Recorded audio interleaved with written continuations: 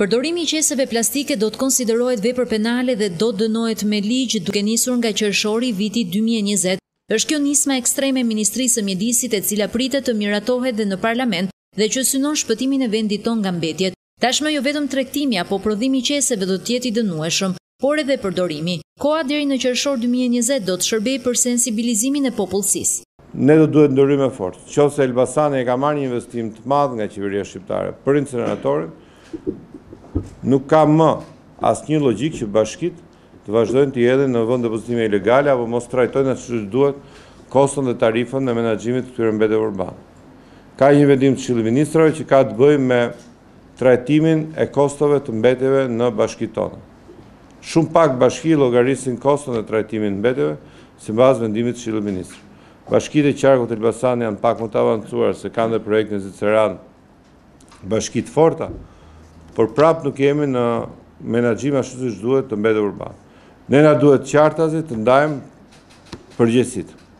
Dhe në kuadër dhe të investimeve të reja buxhetore që do të kërkojmë nga buxheti i shtetit, do duhet që të mbledhim të gjitha të dhënat që vijnë nga bashkitë për sa i përket këtij raporti dhe çfarë duhet të kërkojmë nga buxheti i shtetit. Klosi ishte në Elbasan ku i tërhoqi veshin bashkive për menaxhimin e mbetjeve urbane në të vetmin qytet që tashmë e ka zgjidhjen përfundimtare të këtij problemi, inceneratorin.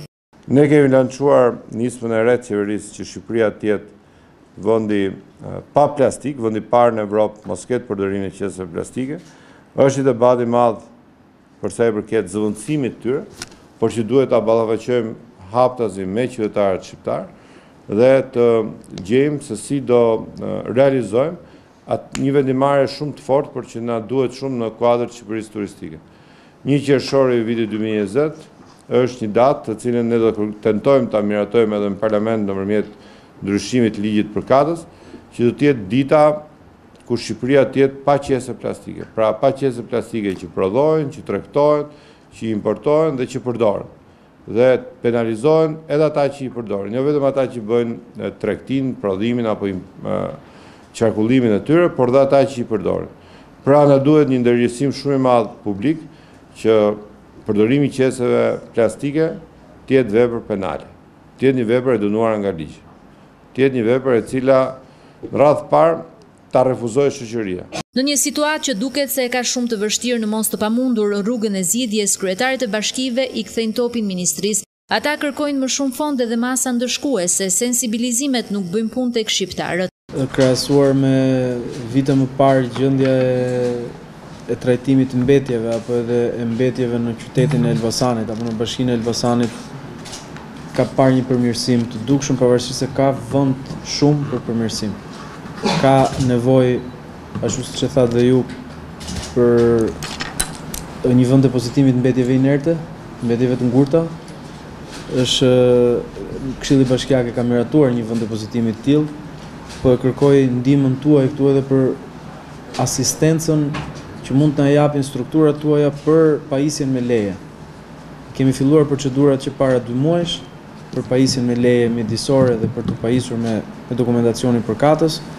Megjithatë do na duhet prapë asistenca juaj pasi e shohim që gjatë gjithë kohës kërkohen dokumenta dhe do na duhet pak ndihma juaj.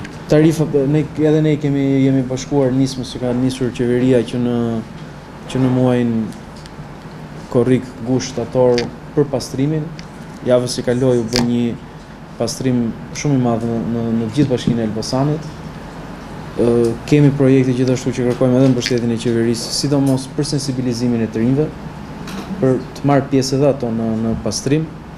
Ë shumë shpejt edhe ne si Bashki Elbasanit do fillojmë ngritjen e grupit të të rinjve në çdo në çdo gjimnaz të Elbasanit për vullnetarët Absolutisht që duhet dhe një ndërhyrje e qeverisë që këtyre, të paktën parimisht, gjithë kur e flasim te tavolinat e vogla jemi dakord që ato persona të cilët marrin asistencë sociale apo ndihmë ekonomike të jenë më të predispozuar që të vinë ose të gjihet një formulë që dhe këto t'i bashkohen nismave vullnetare Unë mendoj që ka ardhur koha që ne ta ashpërsojmë këtë situatën e masave e situatën e gjobave në në terren.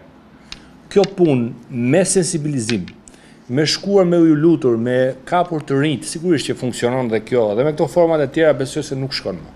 Unë mendoj që ne duhet t'i ashpërsojmë gjobat. Është e pamundur që një njeri që niset nga Athina për të ardhur në Tiranë, deri në Kapshticë nuk guxon të hedhë një një shishe jashtë makine, kurse kur kalon këtej, jo vetëm hedh shishen, po hedh dhe qesen.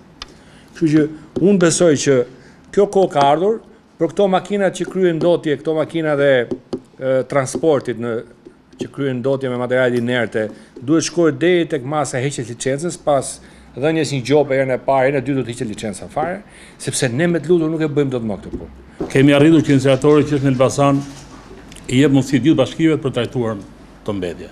Mirëpo bashkia Prrenjas t'i sjellë këto mbetje në Elbasan ka një kosto financiare e cila nga llogaritë tona nuk e përballon dot me buxhetin që kemi.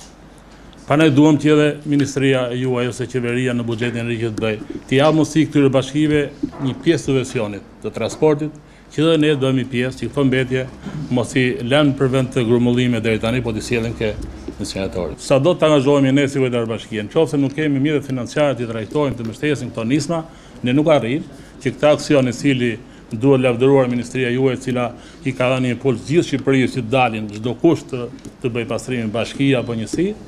Ne mendoj që në vitin që vjen do të vihet më shumë në buxhet, të mbështetemi, që edhe buxhetet tona të shkojnë për pjesën e pastrimit, por nuk është është e pamundur që ne ta përballojmë me paratë tona. Ministri i Mjedisit gjithashtu njoftoi një aksion të madh pastrimi që do të nisë në të gjithë vendin nën drejtimin e prefekturave për t'u bërë gati për sezonin e ardhshëm turistik.